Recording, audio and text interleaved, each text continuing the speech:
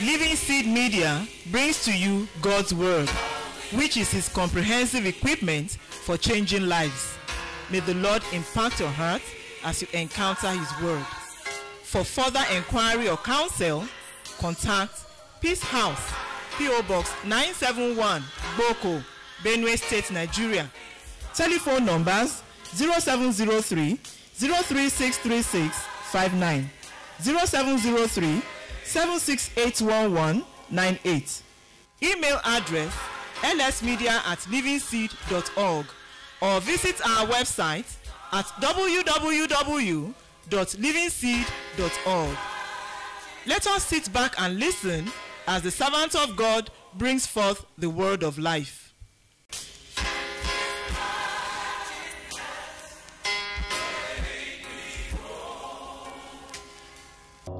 I'd like you to pray just for yourself and just say, Lord, I want to renew this covenant with you. Not I, but Christ. Be seen, be known, be heard. We have come to Rehoboth, and you are giving us room to be fruitful in the land. And we've heard you speak about the unlimitedness of what you want to do in our day. We have heard you, O God, and we have seen it beginning already. We have seen it breaking forth already. You spoke to us, say a little one will become like a thousand. A small one will become a nation. I, the Lord, I will hasten it, I will perform it in its time. Lord, we have seen you doing it now. It's difficult for our mouth to explain it. An unstoppable move of your spirit has begun. We see you moving into denominations, into cathedrals. We see you taking your word, oh God, into lands and nations where we thought we could never be. We see you, God, drawing men and instructing them to give attention to your word now. And Father, we are asking one more time. We will not touch the glory. Can you tell God, I will not touch your glory. I will not share your glory. I will not take your glory. Lord, I am satisfied just to be a vessel, an unprofitable servant. I want to remain. Lord, by the working of your spirit, I will not touch your glory. Please pray. Please ask God to help us about that. Christ, only Christ. No idol ever falling. Christ, only Christ. No needless bustling around. We are not going to be making any sound that points to our self life. Christ, only Christ. No self important bearing. Christ, only Christ. No trace of I must be found. Lord, we want to hold you by your word to help us. In the name of Jesus, thou who helps a man not to fail, you will help us in the name of Jesus Christ. Thou, O Lord, who never will allow your name to be dragged into the mud. We put our hands in your hand again this night. Let it not be on the account of any of us that your glory will be withdrawn in the name of Jesus Christ. We want to ask that as we go on in this meeting, give us a proper scope. Give us a proper understanding. Give us a proper sense of responsibility. Lord, may we not disappoint your purpose at a time like this. In the name of Jesus Christ. Lord, we are not being presumptuous. What you said you will do, you said. What I said to you before have taken place. Now I speak of what I'm going to do. New things I'm calling forth. Lord, we beg you that for each one of us, this Rehoboth must never, never finish in our eyes in the name of Jesus Christ. Holy Spirit, please arise on our behalf. Thank you. In Jesus' name, we have prayed. Amen. I would like all of us, there are three passages that we have read over and over and over again in the course of our growth, in the course of our understanding of what God uh, wanted to do, which He had been speaking to us. I feel again tonight to bring you back to that passage. Now, but this evening, in order to put context to what is the scope, what is the global scope of what God has brought us into, I would like us to take some few scriptures together again. We have read them. But as I kept praying, the Lord said, go back on them and highlight them again so that these brothers, these sisters, these bearers of this fire, these vessels that God has assembled to himself from nation to nation, may have an understanding of what God is doing.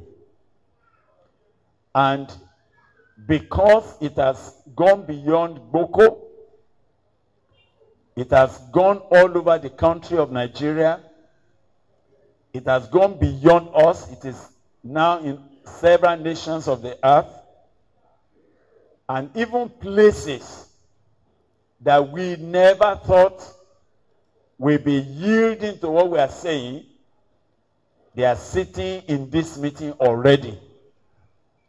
And we are not just talking about those who just carry their handset and either in their car or in their or they are just doing following Facebook and all of that. We are not talking of that.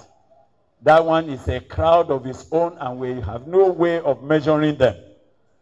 We are talking about people that have gathered like this and they are doing visions retreat in Takum, in Jalingo, in Yola, in Yobe, in Gombe, everywhere, where people are sitting and they are studying together with us.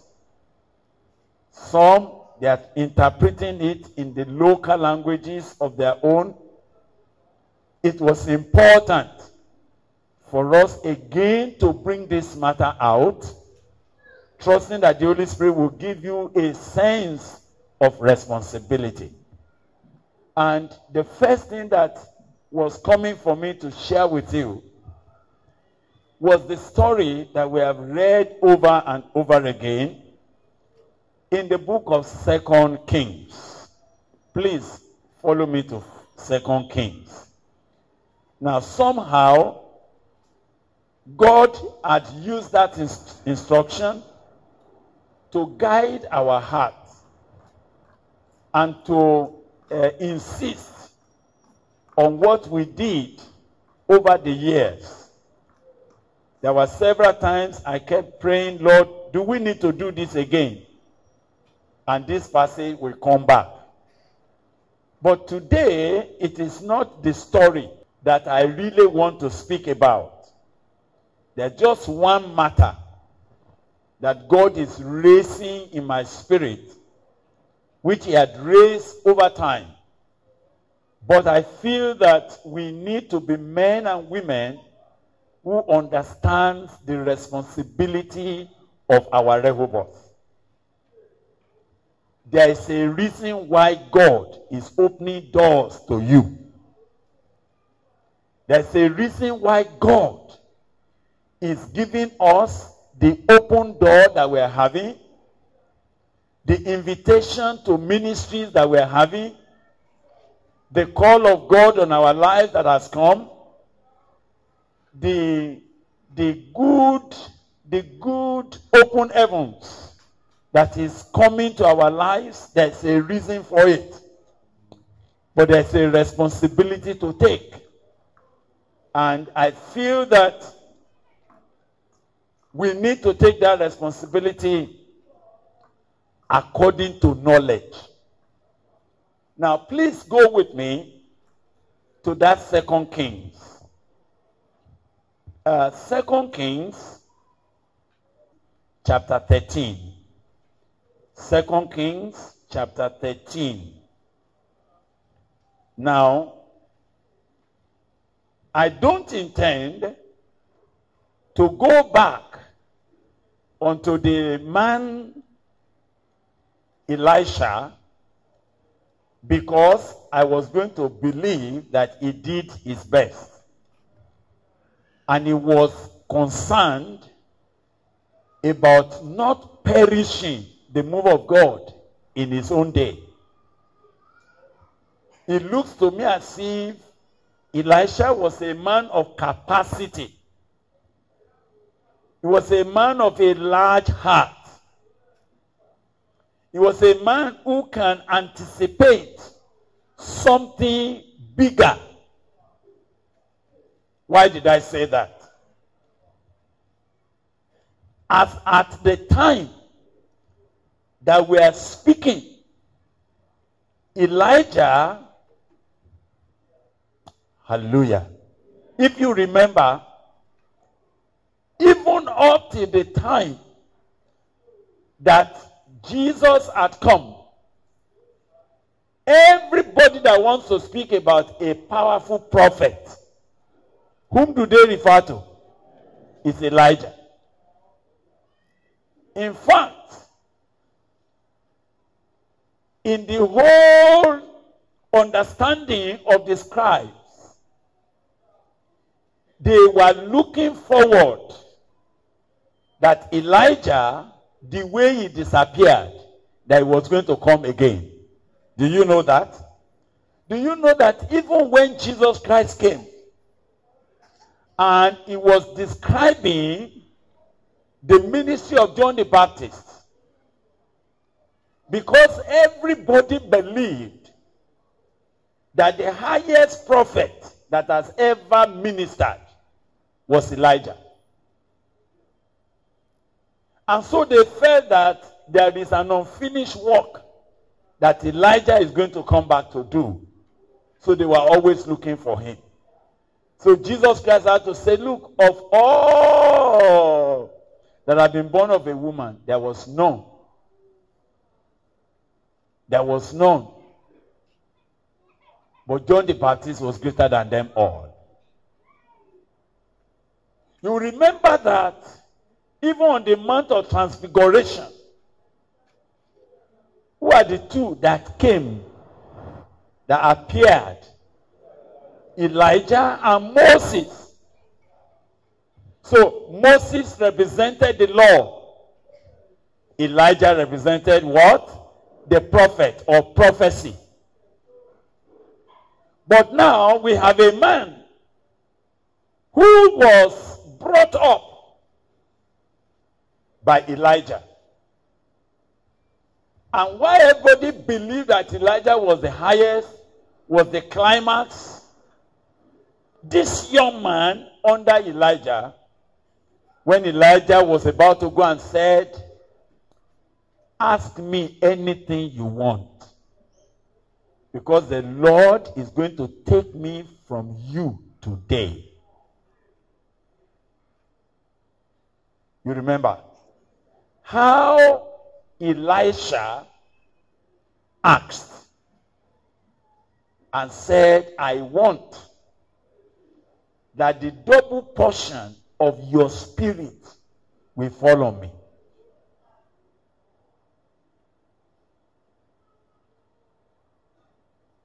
Do you know that we will meet some persons because they regard what you are doing is so serious?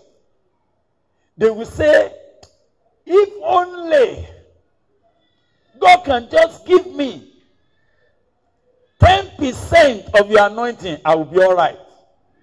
Have you heard people asking such a thing before? Eh? So we say, the way the anointing of God is on this man of God, if I can just be allowed just to shake hand with him, and when you meet, just shake hand with him like this, what did they do? They carry that hand.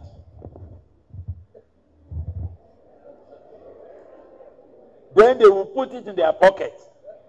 And they will not shake anybody again for some hours. They say, uh-uh. What I've collected, I don't want. Hmm. Why do they do like that? Because they have a very, very small heart as regards what God is about to do. That's where I'm begging God to help us tonight. The reason is because a move of God has capacity to overrun the whole earth and God will not even feel it. But it can only be according to what men on earth are willing to let God do. This is where we have to speak to ourselves very clearly. So when Elisha was going to request, say, I want double portion of your spirit.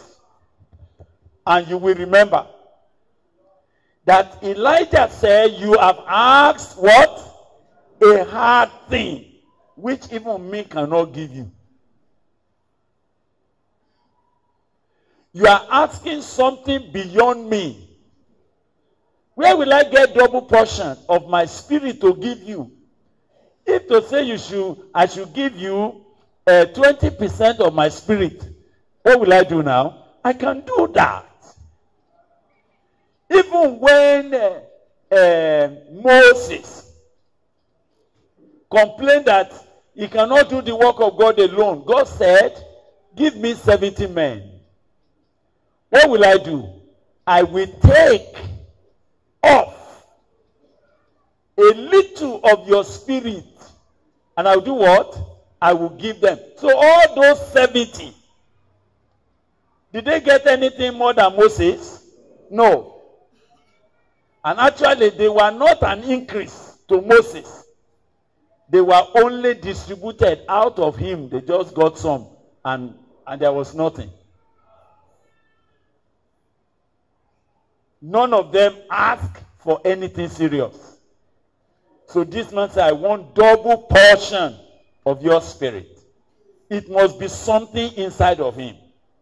There must be an enlargement that is telling him that whatever Elijah was, I want double of it. Wherever Elijah went, I want to go twice of it. Whatever grace Elijah exercised, it can be much more. And Elijah said, Well, if it is God, there's no limit with God. You can have it. But if it is me, I can't give you what I don't have. So he told him, say, if you see me when I'm taking up, then you get it.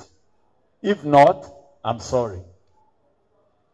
Did he get it? Eh? Which means God is able. Please hear me now. God is what? Is able. Abundantly able to give to you far, far beyond what some of us have collected. Is God able to do that?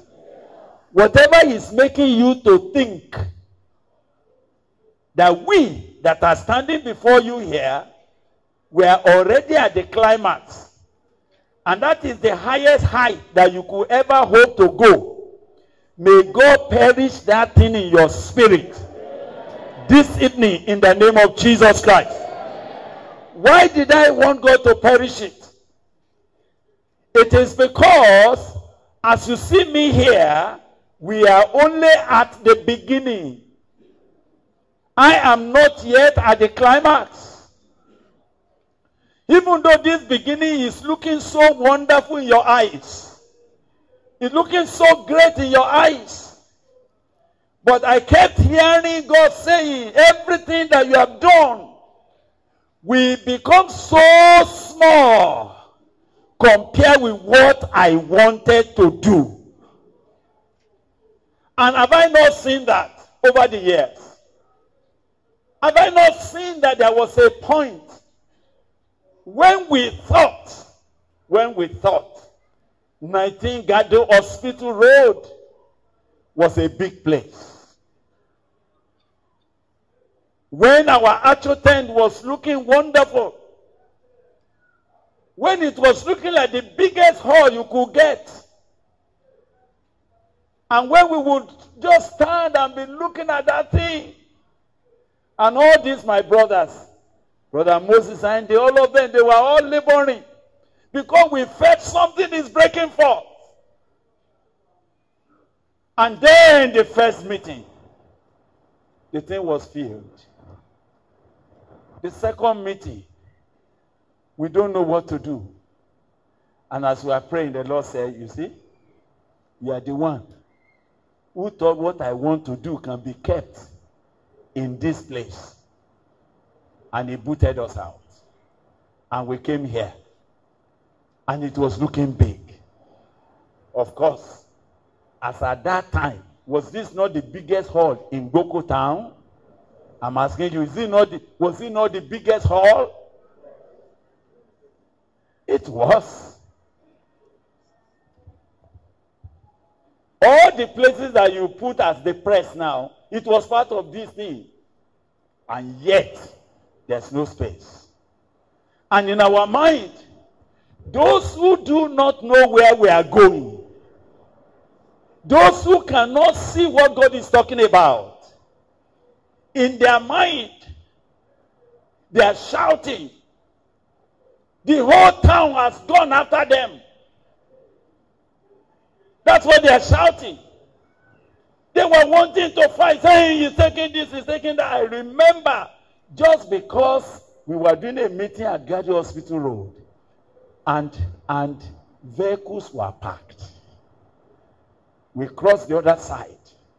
Vehicles were parked machine hire boys were finding great business because they were just running. And I remember somebody was passing on the road and he was saying, What are they doing here now? They have closed the road. I never imagined that we can close road. Are you understanding? So that looked as a big thing that ah, our ministry has closed the road. So I'm asking you now, what is that road that we are saying was closed? And God kept saying, don't limit this. And we stood in this place, this same place, in 1998. And God brought us to that passage. You have asked a hard thing. And God said, Don't ask me for a small goat. We were there. And God said, All that you have not seen is because you have not asked. What you don't have is because you did not ask me for it.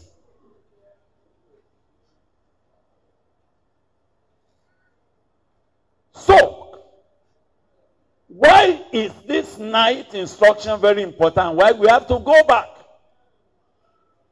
It is because unless God gives you an understanding a largeness of heart to discover divine possibility that is far, far beyond where we are now.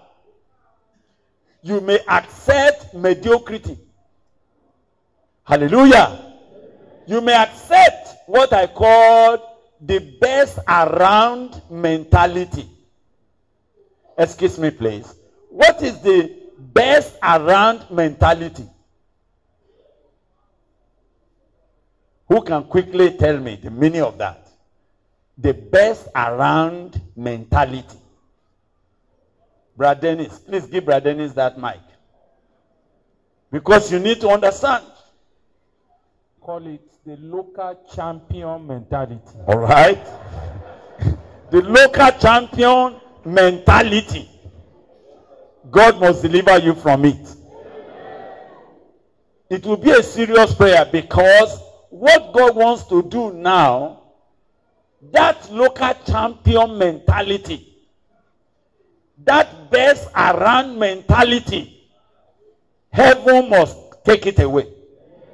So that we do not waste our Rehoboth. Very important.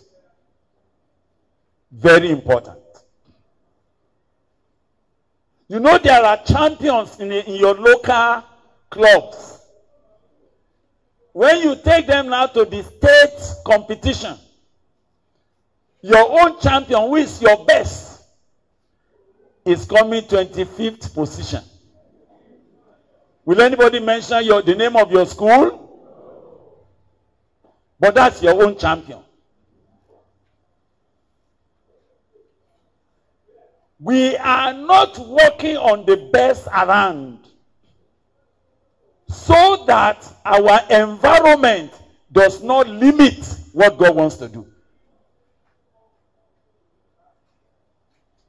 The fact that even in our locality there are certain things they've never seen, that does not mark the climax of where we are going. Hallelujah.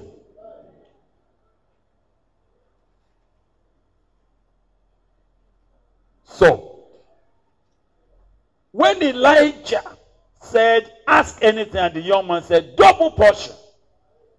Even double portion, as at that time, was something nobody could contemplate. What can be more, what can be more than a man who locked up heavens for three and a half years and there was no rain? What, what anointing can be more than that? What anointing can be more than someone who was feeding and God fed him by the ravens? What anointing can be much more than a man who stood up there and said, According to my word, there will be no rain. And heaven was shut up because of his own statement. And kings and uh, policemen, they went everywhere and they could do nothing. And the day that he needed to come and open the heavens, he walked in again. Ah. And Obadiah saw him say, Ah. He said, Obadiah, come, come, come. Go and tell your master that I've come. And I'm going to show myself to him. Obadiah said, Excuse me, sir, have I offended you? eh? You want to put me in trouble because where have they not looked for you all over the country? The price tag on your head is still there. And if I go now and I said, I have seen Elijah, and before I will come, the Spirit of the Lord will do what? We take you somewhere. So you see, Elijah had a reputation that even the common unbeliever in town, they knew that the Spirit of the Lord used to move with him. Policemen came back after searching, searching, they said, Excuse me, nobody can arrest this man because the Spirit of the Lord used to move him. In fact, when they give us a link that he's somewhere here, by the time we are getting there, we just see that the spirit has taken him. He's no more there. He said, So if I go now and I say I saw Elijah, and that he's going to, he want to appear to the king. And they say, Okay, go and bring him. And the spirit takes you away. What will I do, sir? He said, Don't worry, I'm going to show myself. So he went and met the king. He said, Elijah is here. He said, Elijah is here? Elijah is here? Elijah said, Yes. All right. Hey, and he wants to see me? Yes. Cancel all protocols. I want to see him. So as Elijah was walking in, now I'm looking at such a height of anointing. That would have been a climax. And Elijah walked in. And the king said, Are you here, thou troubler of Israel? You know what he's saying? For three and a half years, none of us could sleep because of what you said. Because of what you said, all farmers are weeping. Because of what you said, there's no food. The troubler of Israel, are you here? And then look at that man of God, bold. He said, I, you call me trouble of Israel? You, your mother, and your father's house. you are the troubler of the people. And tomorrow, I want you now to call a meeting. Call the whole Israel. I want to talk to them. So who is in charge? eh? He took over. He said, call them, call them, send for them and meeting with them. And make sure that all the prophets of Baal and all those prophets of the groups, they are all in attendance. And we will gather on Mount Carmel. The king said, Yes, sir. And everything was done. So if you are under such a man of God, will you not be satisfied even if you just got 20% of that anointing? Eh? Will you not go in about and say, you know, do you know Elijah? You know Prophet Elijah? I say, yes. You know, I was the man that used to carry his bag. You like to do that when you are myopic. When you have no sense of understanding of divine possibility. When you think God only does something that finishes. When in your heart you are thinking that, hey, Bragbile, they are doing something, and let him not die, oh, let him not die, oh, because if he die now, everything will die. When you have that kind of narrow mentality, you cannot understand what to do with Rehoboth. And it is important. The reason why I need to do this tonight is because the dimension in which God wants to move, the only person that can reduce it are those of us that God is entrusting with what he wanted to do. So we have to pray. This thing must not become small because we make it small. Did you hear me?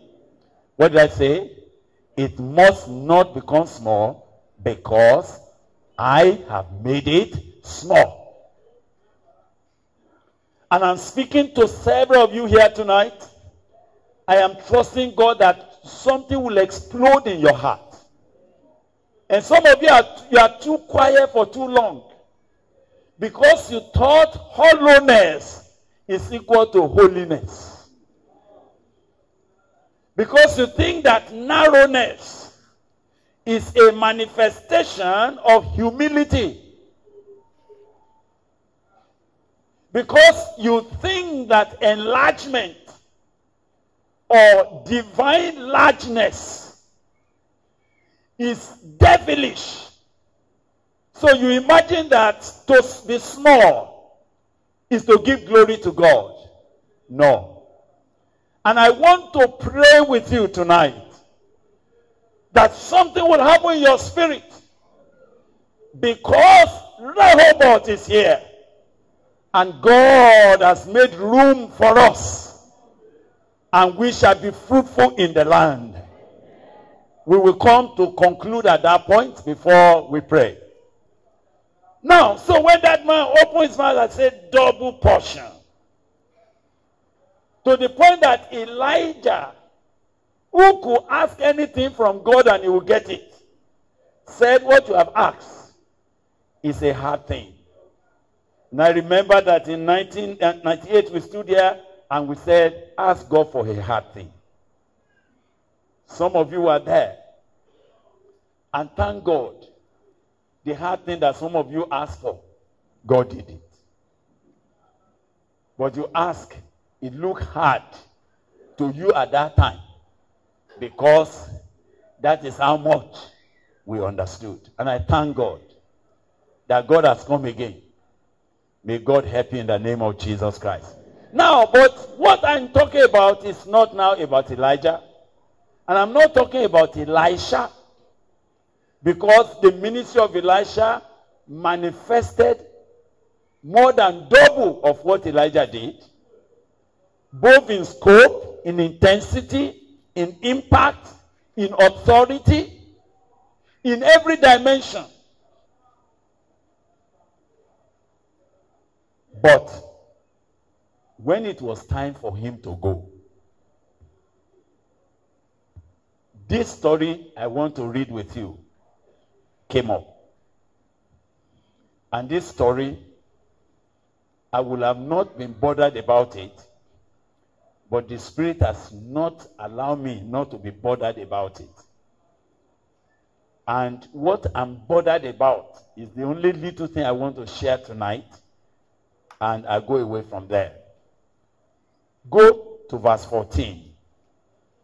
Now Elisha was falling sick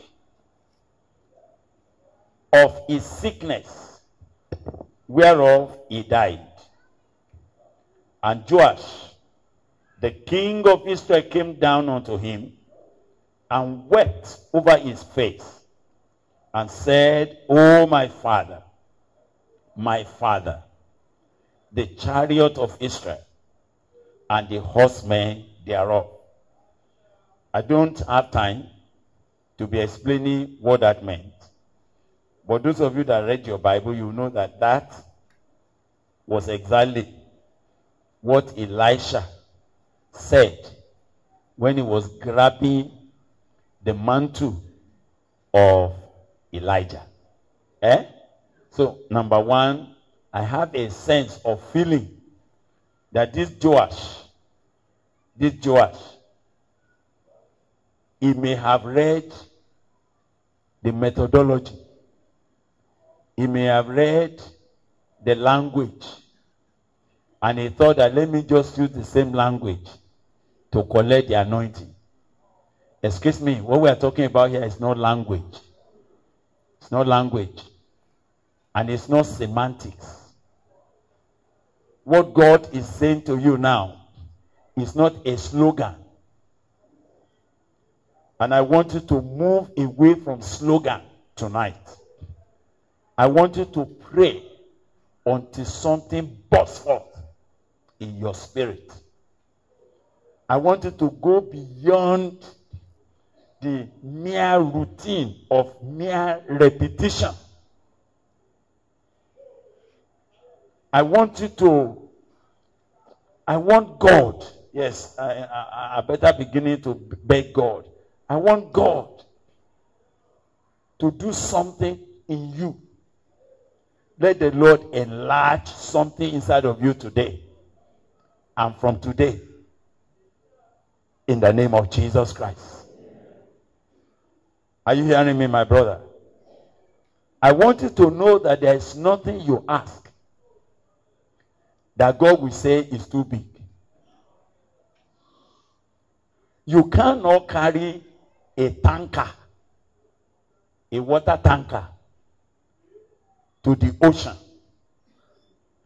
And then the ocean is saying, uh-uh, now you you want to fetch me finish? Does ocean say like that? Abba, the tanker will collect And the ocean will never feel that you have fetched anything. That's the God that we're talking about. That is the Father that has come to us.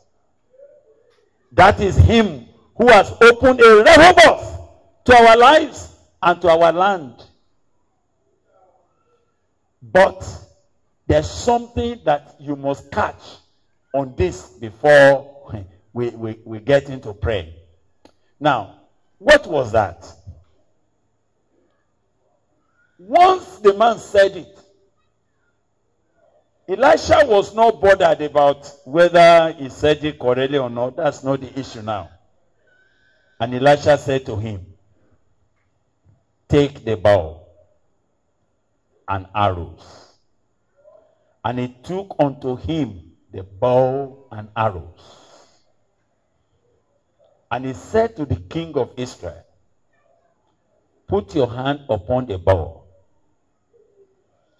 and the man put his hand upon it. And Elisha put his hands upon the king's hands. I'm just looking at a great man of God who did not want the move to die with him. I'm just looking at a man of God who knew no matter the double portion on Elijah that he had operated in, there is still something much more for the younger generation to collect. I'm looking at a man of God who never thought he was going to be the final last in the purpose of God. Are you hearing what I'm talking about? I'm looking at a man of God that will not hide any counsel of God from any life. I'm looking at a man of God. He had been disappointed severally by uh, Gehazi. You remember Gehazi? Eh? And you see the cry of his heart when Gehazi went for for for the leper's uh, clothes. You remember what he said? The man of God said, Ah, uh, Gehazi, is it time? Is it time to collect olive yards? To collect clothes? Eh? Is it time to be collecting the droppings of the of lepers? Is it time? Is it time to look for change of raiment? Is it time to be talking about shoes? You know why was he talking to Gehazi like that? It is because I want to tell you, even when the anointing began to flow, even if you are just around Elisha, and you have not even got the anointing, you can get clothes. You can get dropouts. You can get good things. And I was telling my children the other day, I said,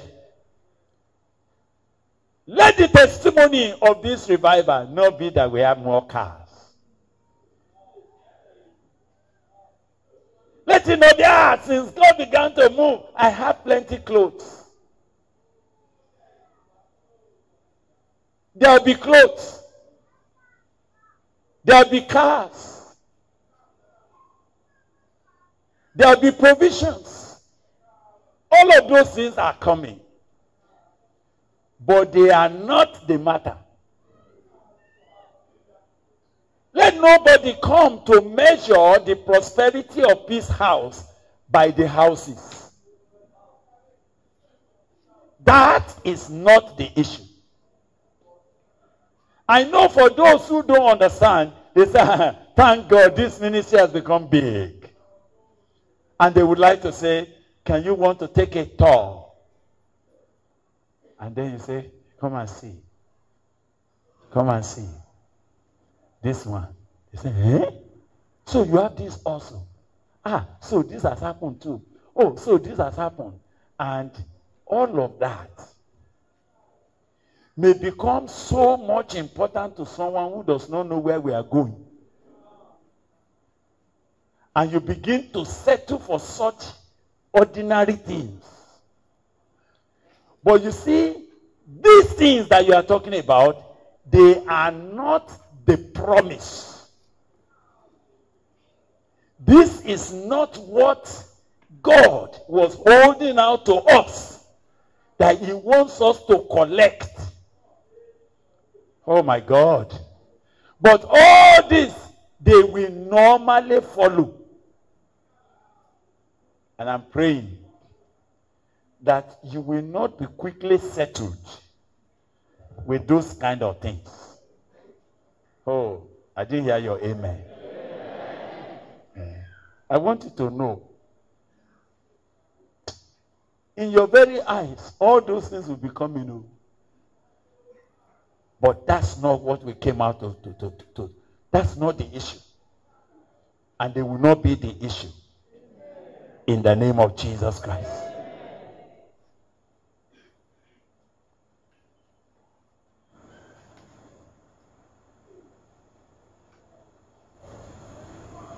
The Bible was showing me about this man of God. Say Gehazi, ah! I gave you a rod to go and wake up a dead person. Nothing happened, and that did not, you didn't cry. You didn't cry. Me, I followed Elijah. He was a man that kings respected. But I never asked for his clothes. I pleaded for his double portion of his spirit. You, you are not crying for anything that I carry. Only what lepers brought that I rejected that you are running after.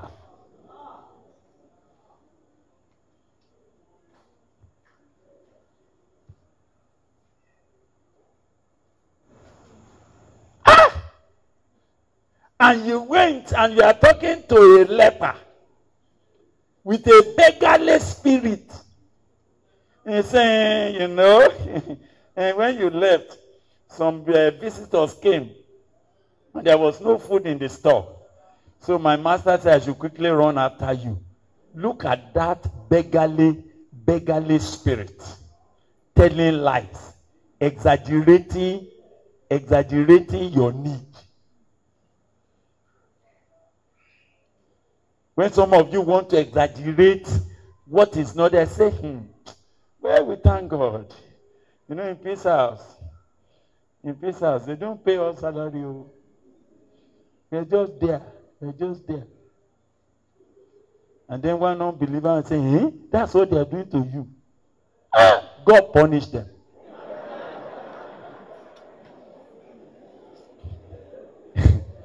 Where you are supposed to become something, somebody say God should punish us. And you say amen. Don't you know that you are entering into problem? Gehazi was there to overemphasize what was not needed. Only to collect the sympathy offering of a leper.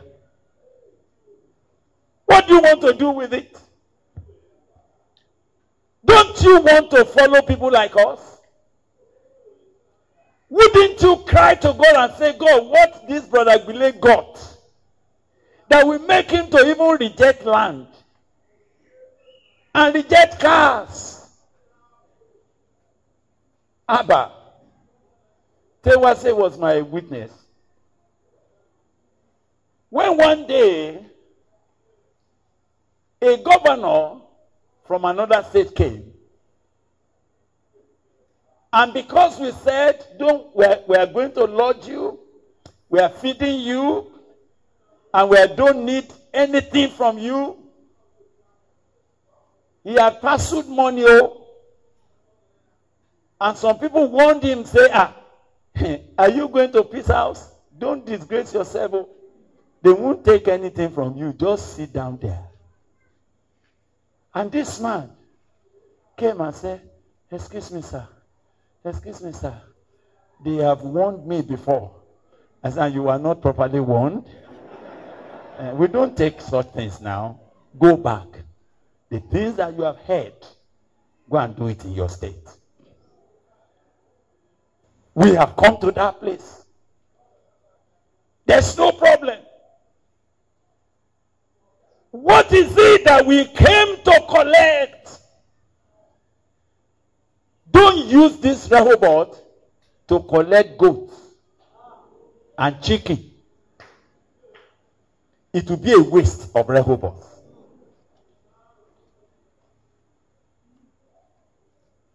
What God elects you to collect that will affect your generation, that will cause the purpose of God to prosper by your hand everywhere you are going, is waiting for you. Don't be distracted. Don't preoccupy yourself with the peripheral issues. So when this man quickly came and said, the chariot of Israel and all of that, said, okay. He decided, okay, since I know I am about going, I know I'm about to die. If you are here to collect, it's okay. Put your hand on the ball and take the arrows. And the man of God put his hand on the man's hand. That's what I call hands on discipleship, hands on training. You are being told how to shoot. Now, what I'm dealing with is now in verse 17. And he said to the man, Open the window eastward. And he opened it. Then Elisha said, Shoot. And he shot. And he said, Now look at where I'm stopping.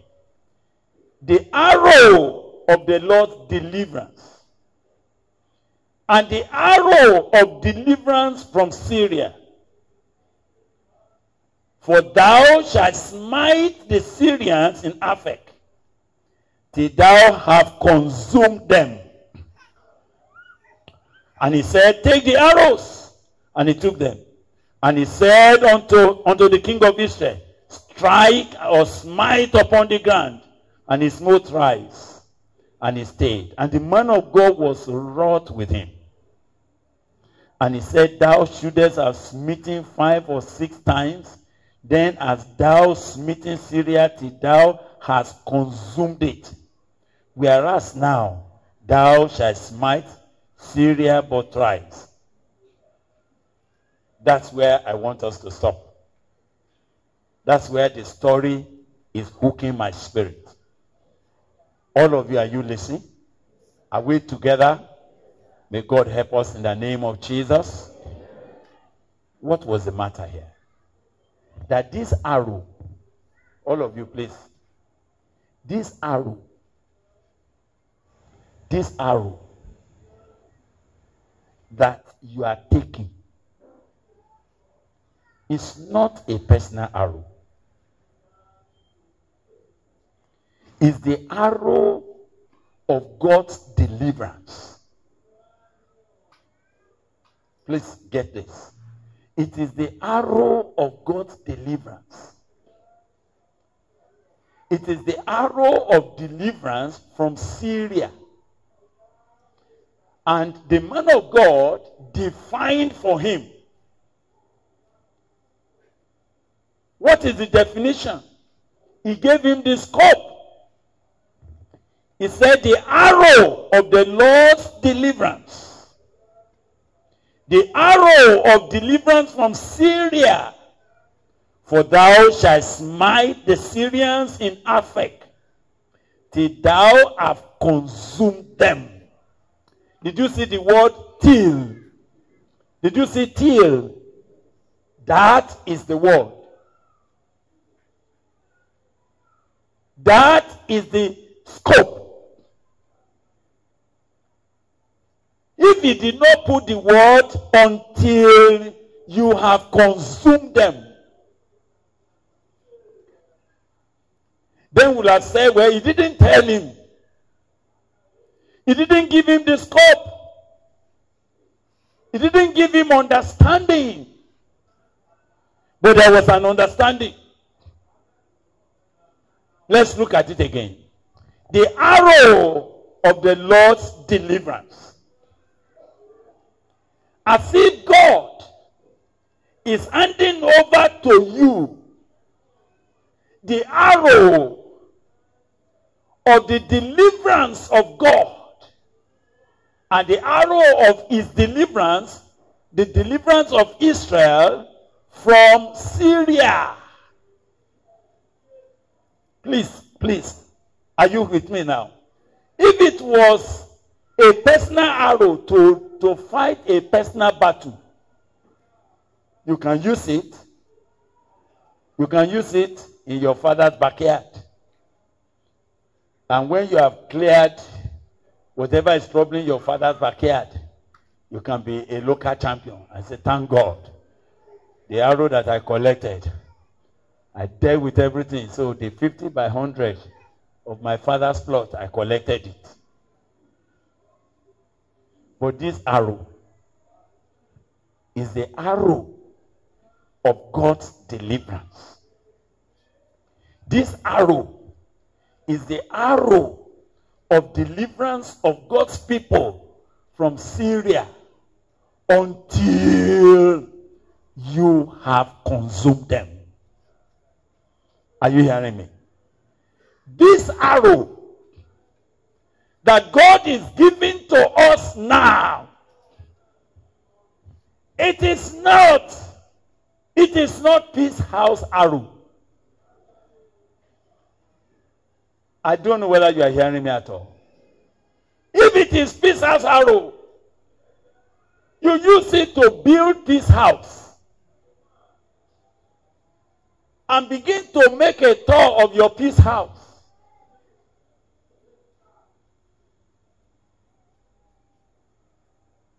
But this is not. This is the arrow of God's deliverance.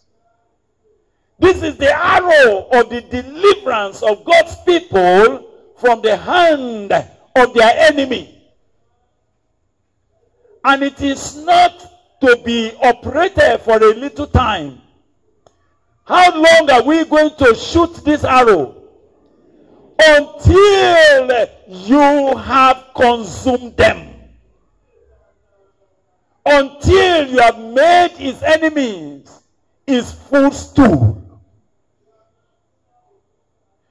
Until everywhere, every space, from Aphek, from Aphek, you know the way they were describing to say, from Aphek until where, please? Till you have consumed them. This is that arrow. So if that man understood, he was being given the arrow that would be in his hand. He will be shooting it. He will be smiting until everything Syria has been what? Consumed. And I'm begging God, will it be clear as we were praying yesterday? Will it be clear to you that what God wants to do now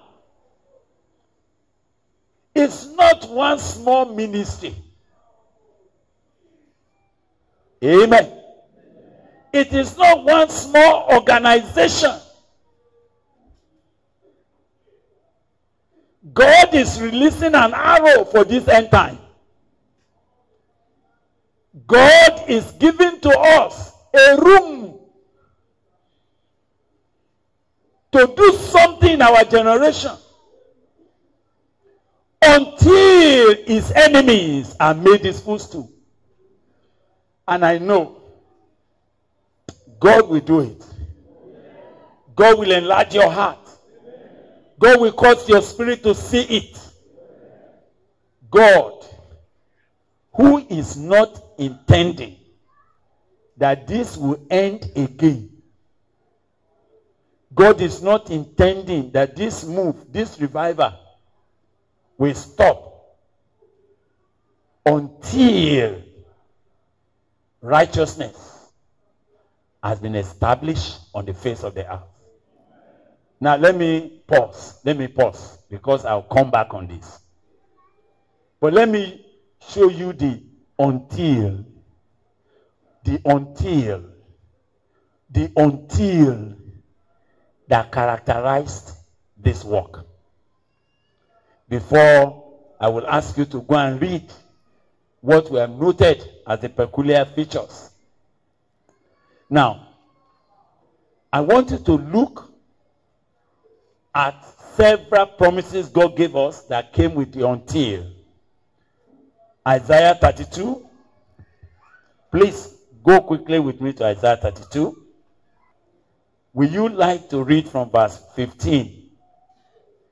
I was wishing I can read your chapter, but uh, time will not allow me to do that as I have so much we need to share before we pray together.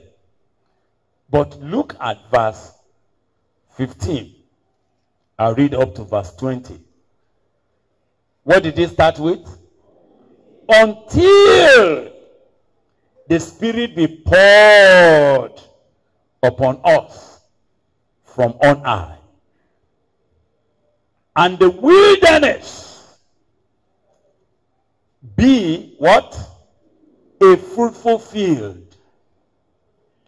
And the fruitful field be counted for a forest. Then judgment shall dwell in the wilderness, and righteousness remain in the fruitful field. And the work of righteousness shall be peace. And the effect of righteousness, quietness and assurance forever. And my people shall do what? Shall dwell in a peaceable habitation and in sure dwellings and in quiet resting places when it shall hail, coming down on the forest, and the city shall be low in a low place. Blessed are ye that sow, that plants, that invests beside all waters, that send forth there the feet of the ox and the ass. We are not just asking for a little shower until the Spirit be poured upon us from on high. And the wilderness becomes what? A fruitful field. Dry places will become a fruitful field. And until the fruitful field is counted for what? For a forest.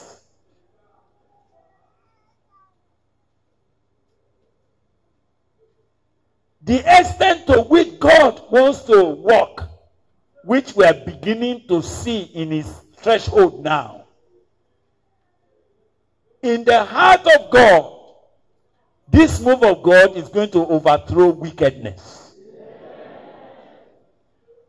Now, I'm talking about it now because I don't want you to be narrow as regards what God is going to do with this arrow. I don't want you to be narrow minded as regards where God is going to shoot this arrow to. I don't want you to allow our small environment to make you so environmental that you cannot see the scope that God is setting for your Rehoboth. So that even when you begin to pray, when you begin to plead with God, you'll be praying with a dimension. You'll be asking God with a dimension of heart. You will not waste your opportunity. I know what I'm talking about. I told you yesterday about wasted prayers. Do you remember? Eh? And I said, don't do that again. What to collect with this Rehoboth? Don't go and ask for biscuits. I want God to deliver you from the mentality of what to eat. God is bringing us to a Rehoboth.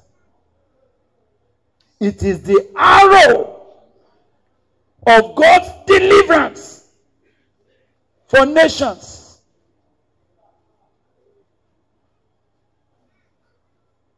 It is the arrow of God's deliverance for his people until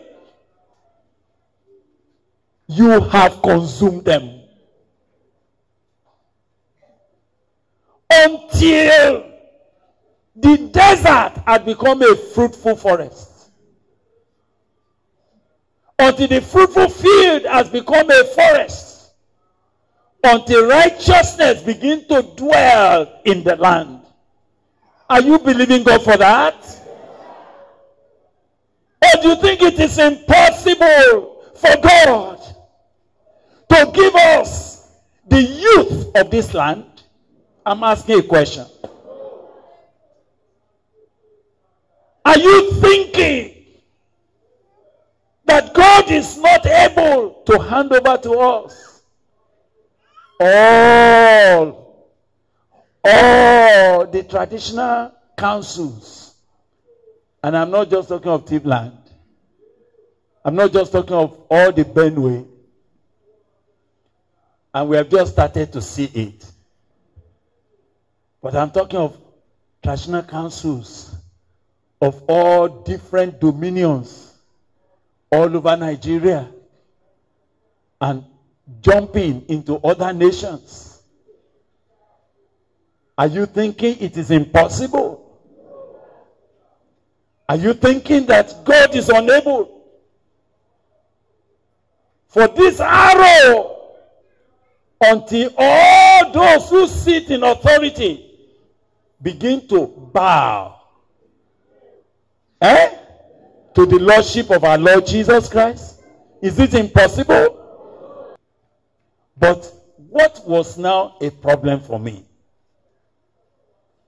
was that God is going to be giving you audience. Audience with the King of Kings. All of you, are you hearing me? God will be giving you audience with Himself. And you'll be hearing in your heart. And God will say, For what do you make requests?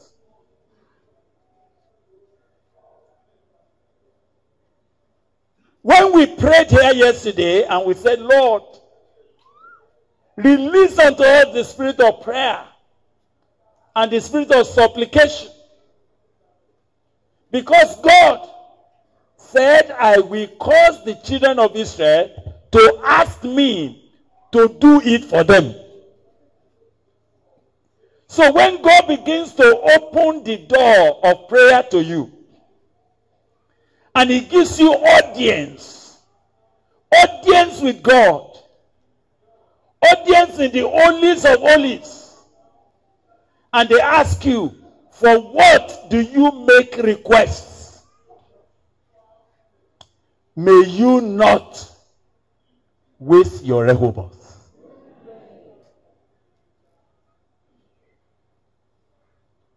May you not engage this open heaven to do something insignificant.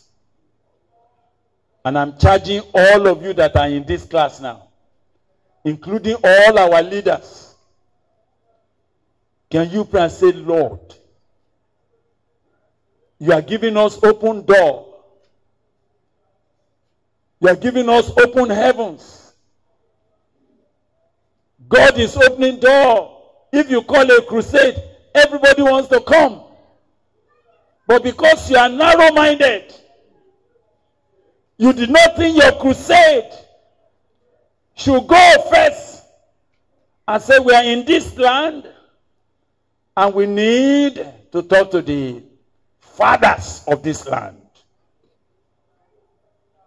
And so you said, I need to see the district head, the clan head, all the heads, all of those ones. We need to have a meeting. And you go boldly and said, God has sent me to this land. And we felt that we need to begin with you. So I'm coming to greet you in the palace and to pray for you. And I want you to please gather all your uh, chiefs because there's something God wants to give to this land. Will they gather? I'm asking a question. Will they? And if you bless them, will God answer? Eh? If any of them was sick and say, before we get into the into the market square, you are supposed to be the first partaker of what we have brought. Is there any anybody sick in your in the palace? And then you see Baba say, ah, there's this boy. Even me myself. It's okay, let's pray. Do you know God is going to honor your prayer? You have not done that before. But Rehoboth has come. You ever thought that this anointing is to gather boys? But this anointing that has come, God has made room for us. And we shall be fruitful in the land. In the name of Jesus. Now, but where is the problem here? The Bible said, and the young man, the young man, you know, I've left the word until because I wish you now will take your scriptures and begin to look at all the until that is in the promises God had made to us. Then you see that you can't stop short of the scope that God is setting. Now, where the problem is that we are needing to call on God and pray about. What is it? And the Bible said, and the man of God was wroth with him. And he said, Thou shouldest have smitten five or six times. Then as thou smitten Syria till thou hast consumed it. Whereas now, thou shalt smite Syria thrice. And Syria will take over. So let me ask you, that Syria was not completely consumed out of the territory that God wanted the children of Israel to occupy till today. Whose fault was it? Eh? Talk to me. It was that Joash. And what is my cry? And I want to tell you something quick. I don't want to spend time on it, but just to give you an understanding. And for you to please join me to pray. God has given us open doors that has been unusual.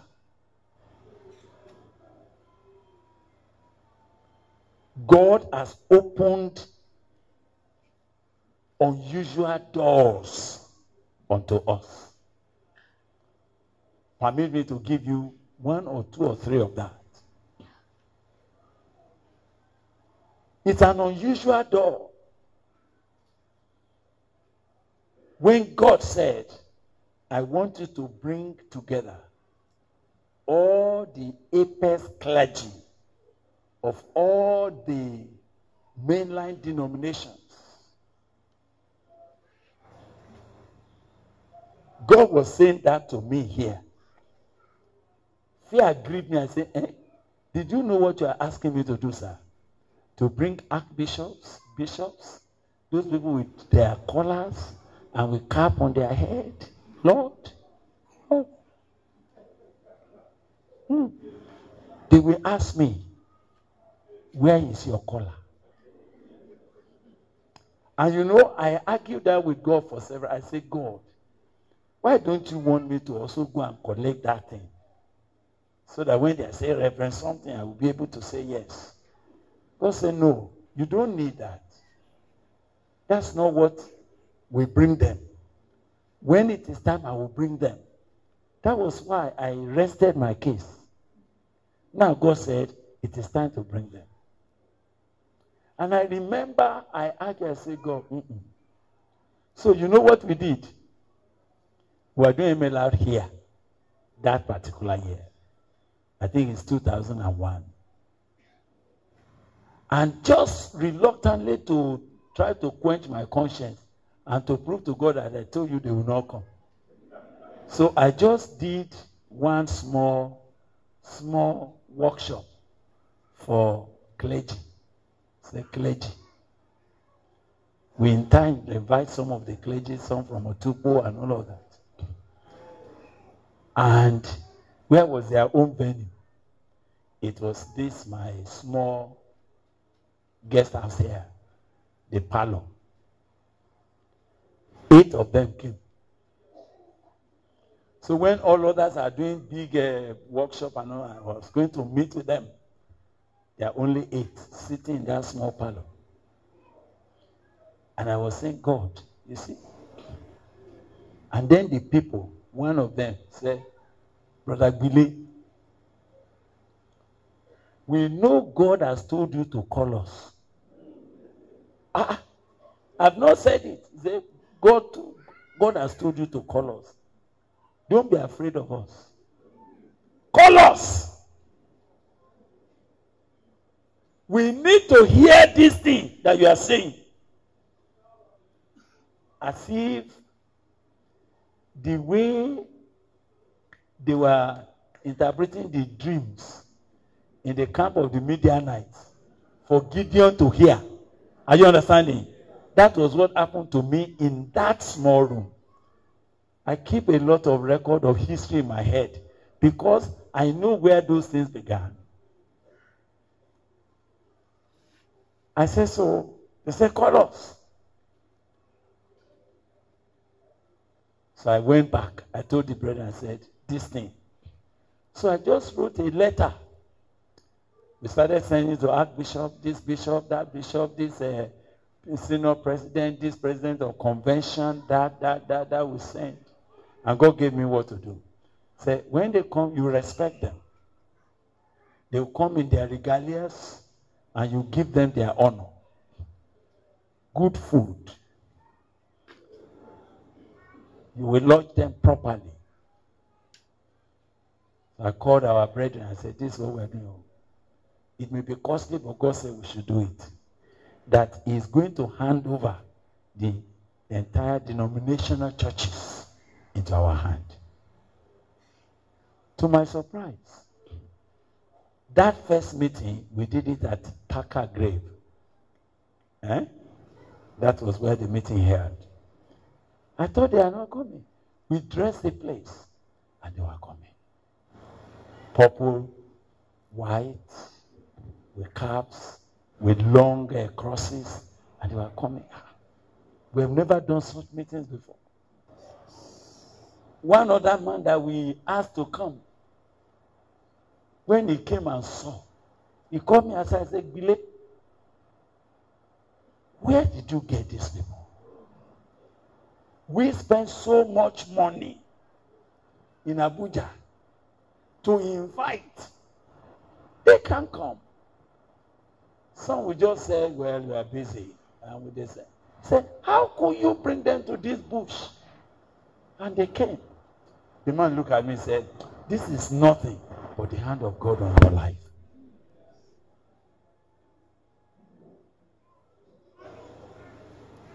Unusual doors.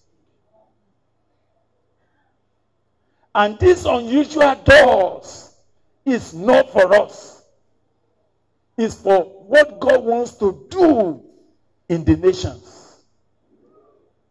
And from that, when the messages were preached, I told the media, please, this is not to be sold. I see somebody overheard me.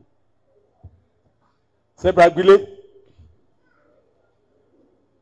we use episcopal authority to command you. These messages should be, we need it. All our colleagues need it. So tell your people to bring it here. We are buying it before we leave here now. And you know they speak with authority. I can only say yes, sir. And God has honored his word like that. Unusual doors. That door, God has kept it. He has not closed it. It is now operating in different nations. The last clergy retreat that we did in October, several nations, and report were that they never expected that this kind of thing will happen. Whole denominations. We're not talking of denomination of uh, one general overseer of, uh, of uh, two churches. We're talking of people that are over thousands of congregations. And they are saying this. We need it. Now, this arrow is not for us. It's not to promote peace house. It's for the body of Christ until Syria is consumed. Hallelujah. Until his enemies have been made his footstool. Until the desert had become a fruitful, a fruitful field, and a fruitful field had become a forest, and righteousness dwells in the forest. This is the arrow of God's deliverance. But when that man struck three times and stopped, heaven also stopped. You know, I was thinking that Elijah will, Elisha will have said, uh uh Continue now. Continue now. But Elisha was so angry with him. He said, You see, why did you stop? It means you will strike Syria three times. And after that, Syria will take over again. You have wasted the arrow. That's my cry tonight. An arrow of deliverance has been released again to the body of Christ. And this is that arrow. Unusual doors. Unusual doors to theologians. It's not our door. It's God. Unusual door, let me tell you, unusual, unusual doors to the ministry of education. You see, there are things that God is leading us to do that people are wondering, how are you getting it? That state, state governments, not just Benue, Akwa Ibom State, Cross River State, other states, they're saying, we want to enter into collaboration with Peace House to train our teachers. Whether they are Christians or Muslims or anything, because it is an official training. All of them are there. I wish I have time to call some of the teachers who went to Akwa Ibom. And because there's no hall where you can gather all the teachers, so they did it at their senatorial levels. And we are dealing with thousands of teachers. And God told us, you will do it free of charge. You will feed all those teachers that are participating at least one meal a day. Ah, and you are going to give them resource materials. And you are bringing resource persons that are of the of quality and tell them it has no cost to them. And one time, our brethren went somewhere, and somebody with a canker is a principal was not interested. But when he, she came and, and got what we were teaching, got the word of God, then he stood up and said, she said, if this is what all the churches are teaching, Nigeria will have changed. I'm coming now. I'm coming back. Unusual doors. Unusual doors. Because what we are talking about, you thought that there's nothing, you don't have anything to do with secular education. But now they are bringing their teachers and they are saying, Can you train us? And it's not just one small local government. We are talking of whole states.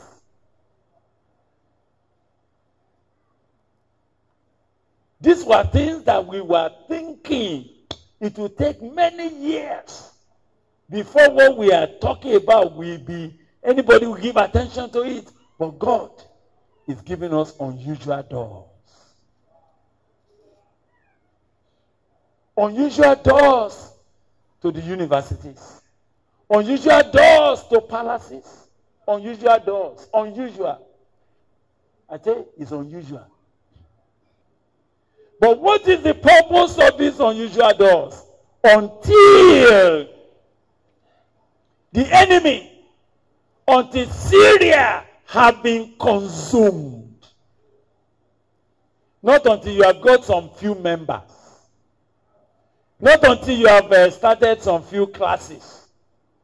Until everywhere, schools, universities, government houses, economic uh, organizations, until they have been brought on their knees. And do you know that we will live to see it? We read of revivals where judiciaries were closed down because hearts of men have been melted. Those that have cases in court, they have gone to withdraw it.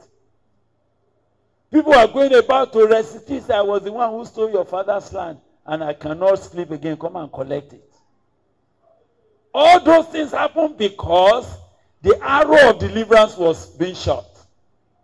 And God has come again. We're in a new season now. But I have an obligation that we must not make it small. We must not think little about it. We must not waste it. It must not be wasted in our hands in the name of Jesus. During the last seminar, we deliberately took time to study Second Kings chapter 4. Do you remember? Perpetuating the move of God. All of you that attended MLR.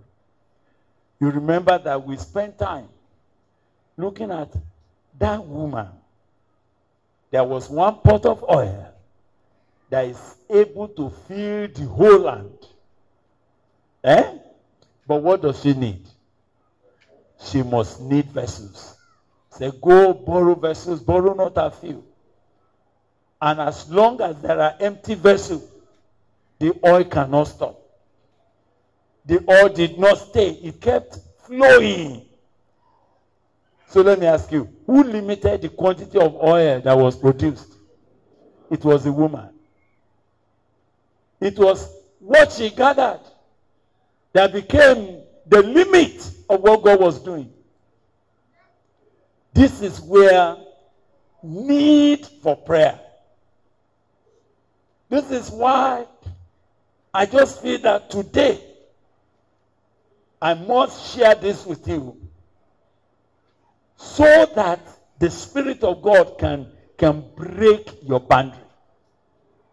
That God will make your heart boundless. That God will give you an insatiable hunger for what God has proposed to do in our day. Until, and I'm just begging God that it will not stop because of my own narrow heart.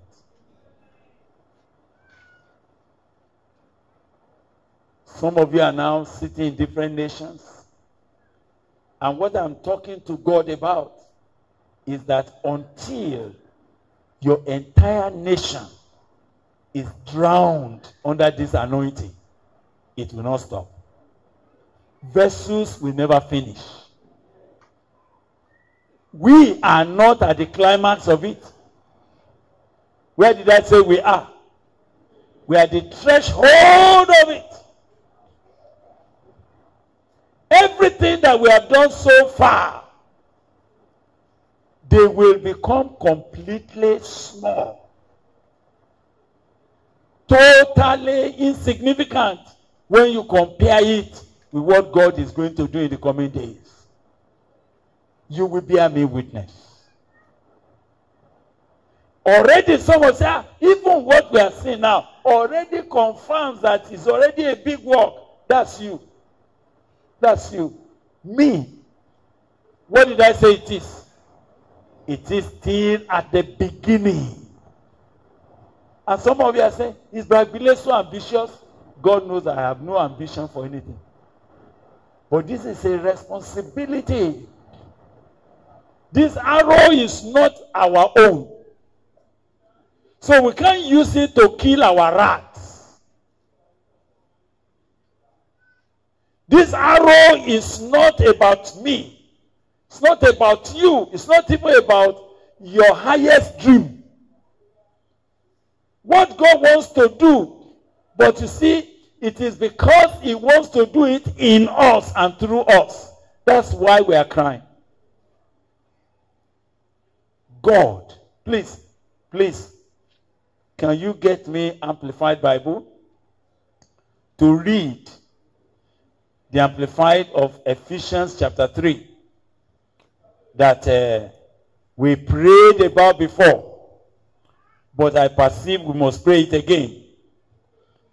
Who is having Amplified version to help me read?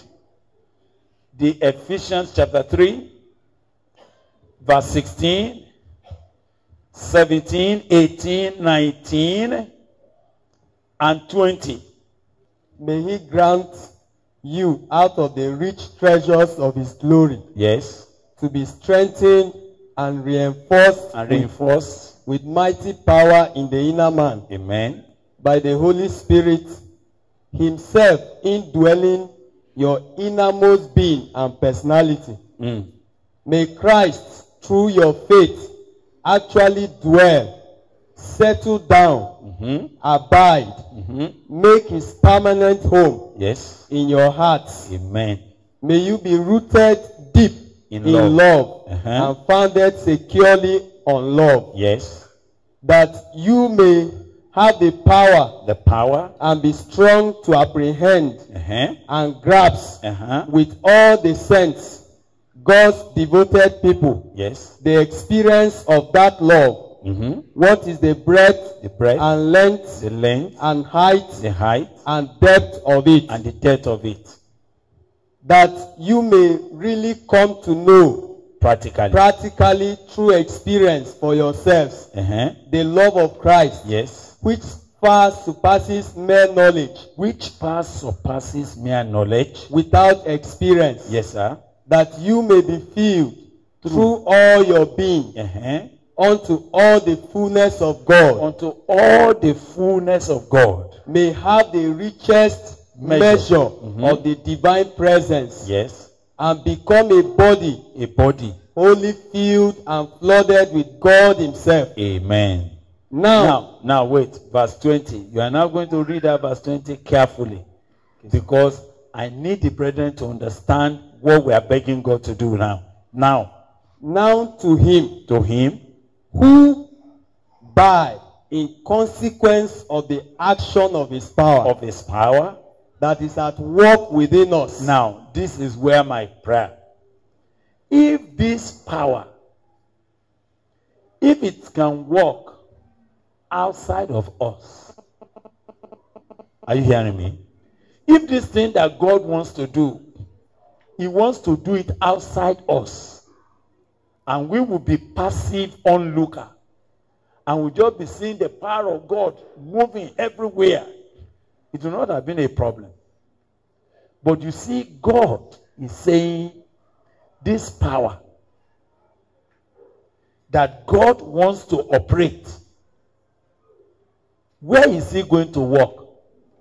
It will be working within us, in you. Brother, go at it again. Now to Him. Now to him Yes. who, by in consequence of the action of his power Uh-huh. that is at work within us, That is at work within us is able to carry out to carry out his purpose His purpose and do and do super abundantly, super abundantly, far over far over and above all that we dare ask. God is able, listen, to do far over and above all that you dare ask. There is nothing you ask that will be too big or too elaborate. And God will say, Kai, mm-mm, reduce. There will be nothing that you could ever ask. Say, God, let me be reading. Don't worry now, I can read for you now. All right. To him, who by and in consequence of the action of his power that is at work within us, is able to carry out his purpose and is able to do super abundantly, far over and above all that we dare ask or think, is able to do infinitely beyond our highest prayers, our highest desires, our highest thoughts, hopes, or dreams.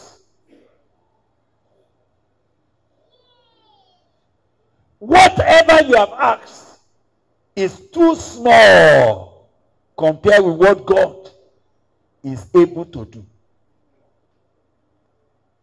Are we together? Whatever you are asking, your highest dream, to you is high. To God, He said, Is that all you are asking? Is that what you want? And how much will that push this arrow of deliverance? Why are you so soon satisfied? Why are you thinking that it's all right? Why do you count 2 million when you could have 20 million?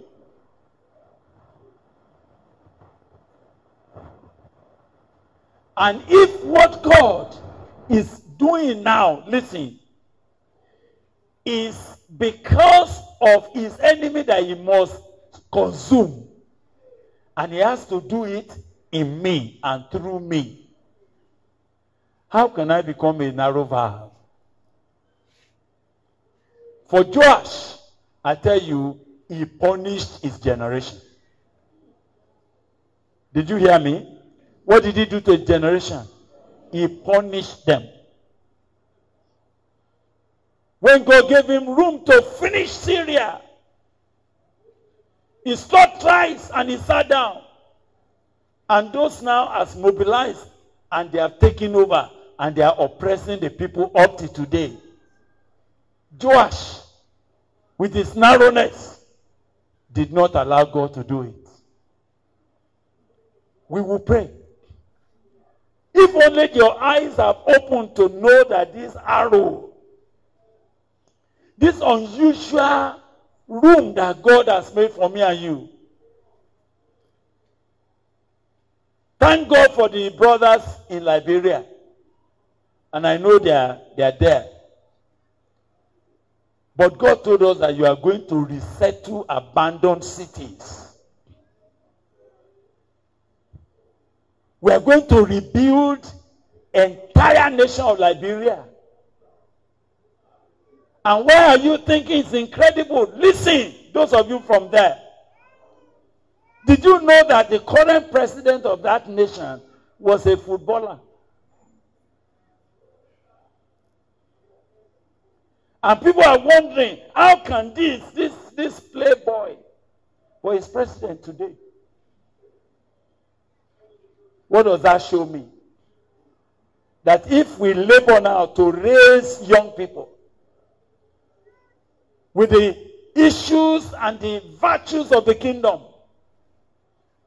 who makes it incredible for us to place a disciple in the government house? Who says it is impossible that the palaces will be occupied by the disciples and their wives until Syria is finally consumed? What is making it incredible that whole universities can be held to ransom because of this arrow of God's deliverance? God has made a room for us. God is saying, now it's your turn. Ask me anything, I will do it. And as we listen to that message that God gave us two years behind, and He's saying there's no limit, there is no height that His hand will not pull down for us anything that is needed once we have agreed not to touch His glory. And in a short while, we already saw things happening beyond us. And I dare not begin to even tell you what God has done. Physical things, supplies that God has brought in different directions. When we used to gather here, it looked a big thing. But you see, every local government, people are gathering now. And one of the brothers said, Sir, killing cows is no more a big story. oh. That we also are killing cows now in our small, small meetings.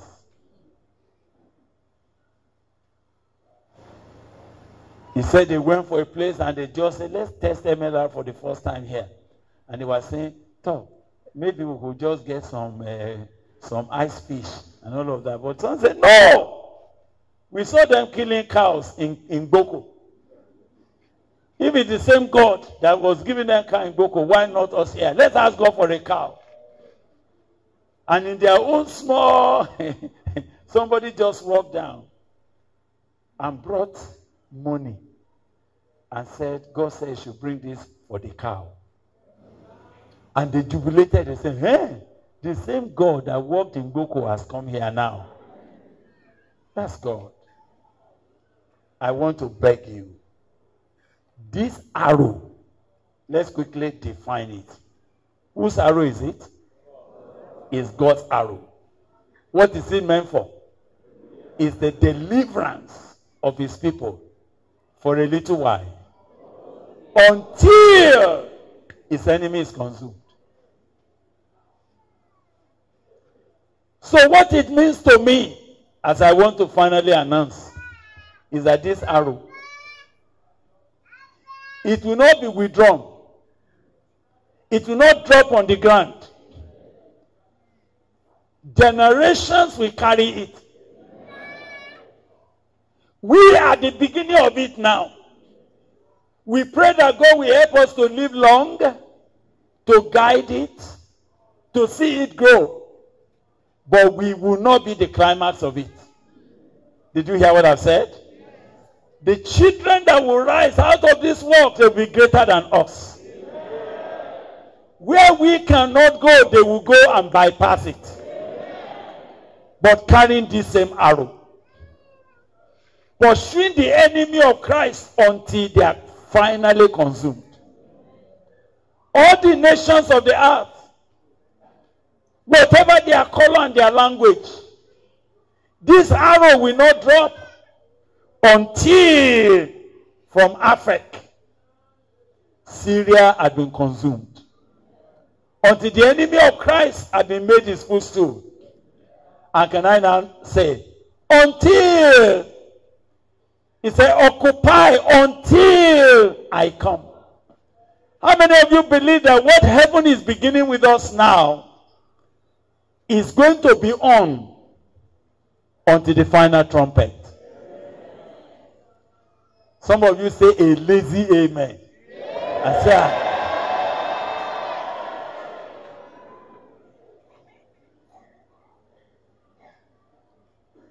God had been speaking about this.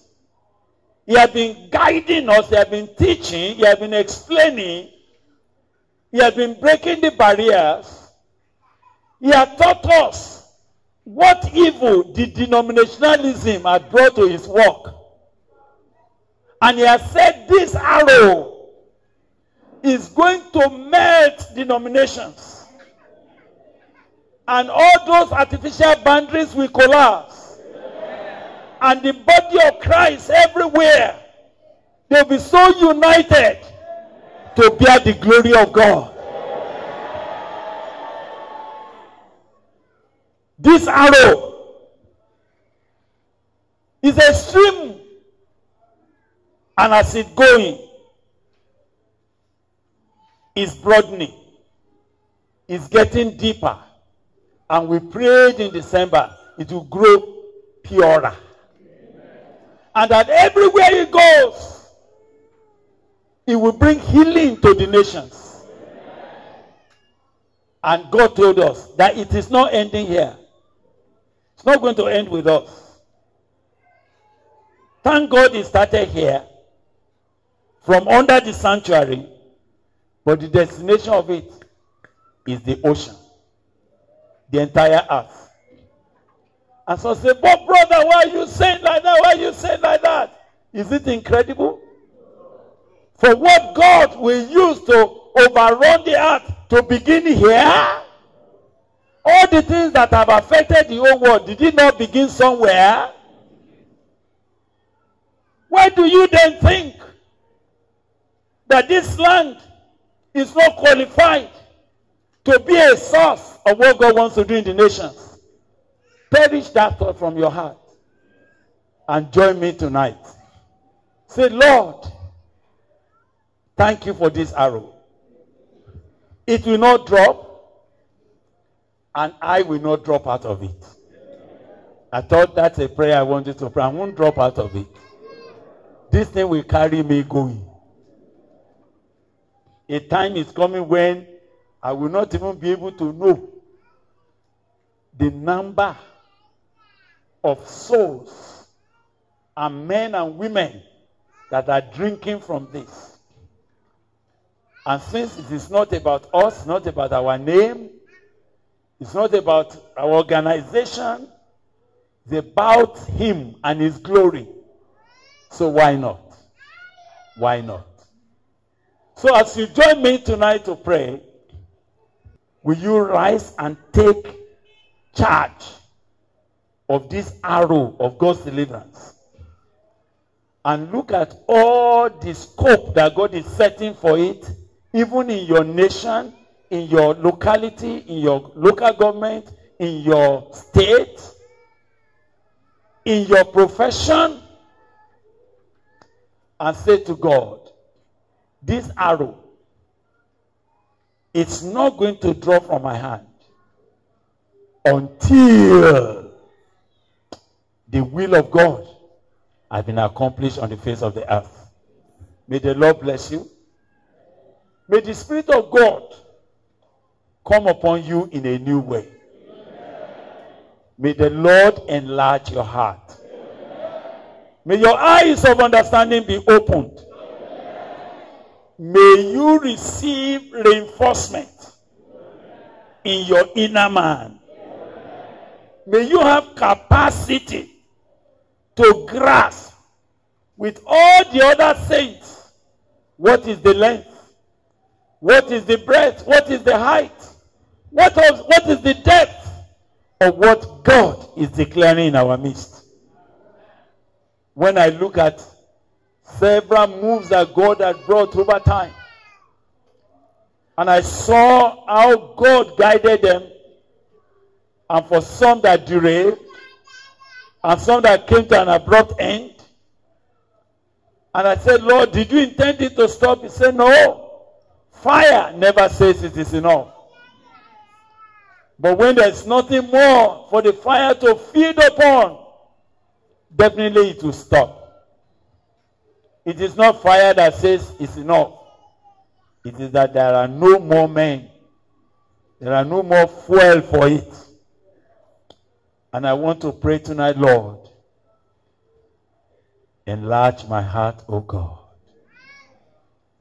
Help me to understand what the true body of the Lord is. That I may not slack anymore, nor withhold myself from the reason why I was born and born again. Did you conquer a village? Out of many villages. Everyone is saying, but where are the nine? Where are the others? As you will be joining me in prayer, just for us to say, Oh God, we will not be wasters of this arrow. We will not be the, the narrowing valve that will stop this and make it small. I don't want to go to the other extreme or say, Lord, and if any of us is going to be a cog in it, let there be a force that will either push us forward or force such a person and let them go to heaven quickly rather than affect what God wants to do. But I think God is speaking good things about us. Say it is your Father's pleasure to give you the kingdom. If you will rise with me in prayer, our brother will come and lead us to do that praying. I know God is, there's a labor in the spirit tonight. It is the labor that this that has come to us this that heaven is releasing, it must not be cut short. It must not be applied unto killing rats and rabbits. It must not celebrate ordinary goods. It must not start pursuing peripheral things until Syria is consumed until his enemy has been made his footstool. Until desert has become a fruitful field. And until the fruitful field has been made a forest. Until righteousness dwell in the forest. Until peace and the work of righteousness dominate the land. Until we are there, he said, Blessed are those people who sow into the waters. Just stretch out your hand and say, Lord, it won't drop in my hand. It won't drop in my hand. It will not become small in my eyes. Every form of expansion that you have made for it.